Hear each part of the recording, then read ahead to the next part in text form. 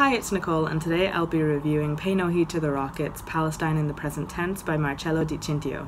This book is published by Counterpoint Press, and this video is part of the Indie Press project hosted by Stephanie over at Time to Read. In this book, Marcello Di Cintio basically goes to Palestine and Israel and is talking to a lot of Palestinians, more specifically writers, um, poets, novelists, etc., uh, bloggers even. And on the one hand, while that might be a more limited view in terms of sample of people, and when I say limited, I mean that they, you can expect that they will be broadly of a similar thinking. Um, a similar political leaning, a similar um, a similarness in the same way that I think um, creatives in any part of the world share a lot of similarities in their ways of thinking, um, social consciousness, etc.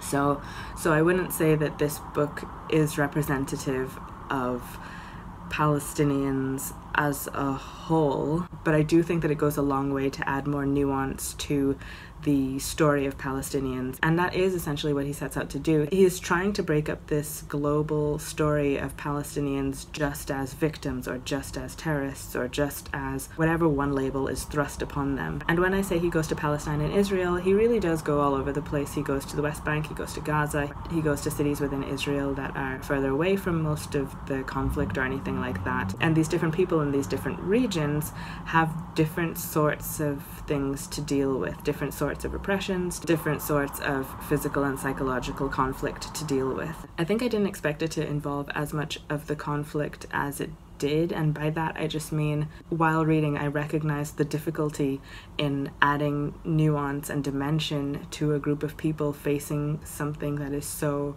all encompassing. It's hard to separate Palestinians and indeed Israelis from this conflict in anyone else's minds, but also for their own lives. I'm sure that if you are a Palestinian living anywhere in the world, not just in that region, uh, or indeed if you are uh, Israeli or or if you're just Jewish, I'm sure that it gets really tiring having to weigh in on the situation when you just want to live your life like a normal person. I feel like that just being being black, being a woman, while I think I would have ultimately preferred this kind of book to be own voices.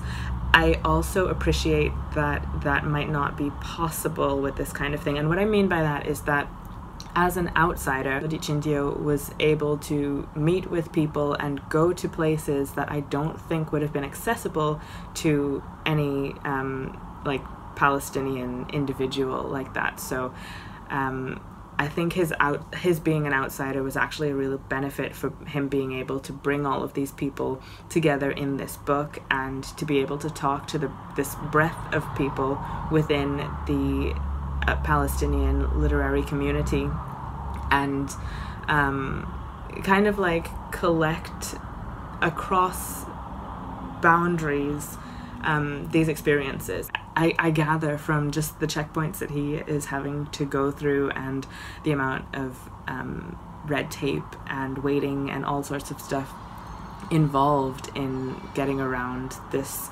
um, highly policed area, it would be very difficult for a, some uh, a Palestinian from Gaza, for example, to visit the heart of Israel. There were a lot of instances where it was explained how difficult it can be for Palestinians to move around freely, and that's something that I think we take for granted quite a lot. Um, so, yeah, while I think it's generally very helpful and insightful and I don't want to say better because I don't think that that's a fair value judgment but it, it I think it's very um, instructive and insightful to have to read own voices and that is something that I generally prefer to do. There are instances where I think it just makes a lot more sense to have an outsider perspective on something particularly when an area is pretty inaccessible otherwise so it's like you either get uh, an outsider perspective an informed outsider perspective uh, someone who has really tried to go deep or you have nothing. like to me, I would much rather just have the outsider perspective if they are doing their best to, you know, really investigate a topic or a situation or people uh, in this instance. A strange thing that kept happening for me is I kept relating this back to well less strange is that while reading this i was also reading some other things for black history month and i was relating some things in this. Not everything obviously but i was relating some things in this um, with civil rights movements. But um, a little bit more strangely or maybe not so much I was also relating this a lot to the UK, and what I mean by that is not the obvious things of like, oh, and uh, Britain left uh, that region and caused this and that, blah blah. Not so much that. It was more just this thought of um, being a liberal, creative person in a conservative state and trying to change that and feeling like you have very little power. And when I say that, um, even more strangely, I guess, or maybe not, I don't know, um, while that is true of Palestinians, I, I kept finding myself thinking about liberal Israelis and um, people who are who understand the situation in a more nuanced way than maybe their governments are putting out there.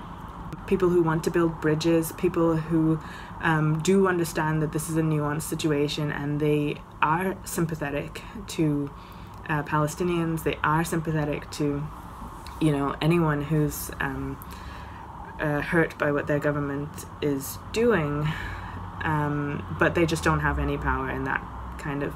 I, it, it, I guess I, I guess I felt. Um, I guess I felt a sort of relatability in that way just because I think in Britain at the moment, and maybe for a lot of people in the US, I imagine, um, maybe less so now for some liberals who are feeling um, a sigh of relief with the recent presidential elections, whether that is justified or not, I'm, I'm not here to comment on. But um, for me personally, and for a lot of people I know, if you're a liberal in the UK right now, it can feel very claustrophobic and it can feel very helpless. Um, and I know it's like, oh, this isn't the place for politics. It is the place for politics because it's my channel and because I'm talking about a book that is directly about politics. So obviously, I'm going there. But it just feels. Um, strange, I guess, thinking about that connect with all of this. And there were instances, this wasn't um, focused on Israelis, but there were instances where